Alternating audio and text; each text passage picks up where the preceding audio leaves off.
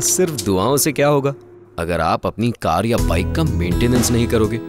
S M S safe to go two five six seven six seven और पाइए Castrol से free safety checkup ताकि आपका परिवार रहे हमेशा सेफ़ टू गो